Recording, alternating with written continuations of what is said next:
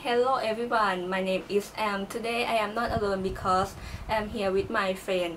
I would like to introduce my friend to all of you. Ta-da! Yay! She is my lovely friend. Her name is Jenny or Jane.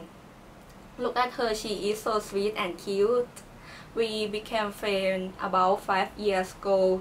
It is just a kind of funny story because at that time I thought that she was the actress from the bananas in pajamas which is my favorite cartoon. So I ran to her and asked her and photograph but she said no I am not her.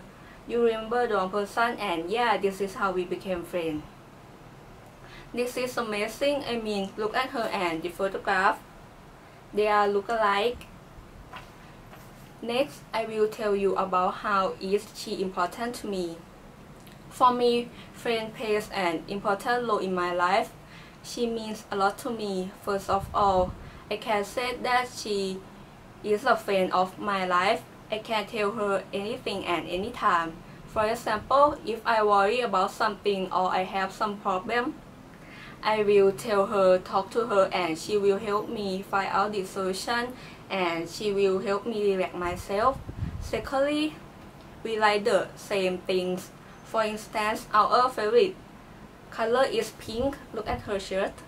Our favorite song is Yellow from Coldplay and our favorite place is sea. So we decided to go to Pattaya soon.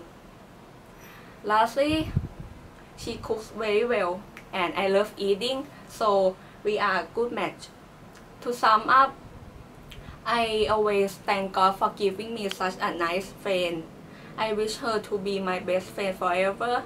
And everyone please remember me that a good friend will help you, support you and listen to you. Always be a good friend. Bye. Bye.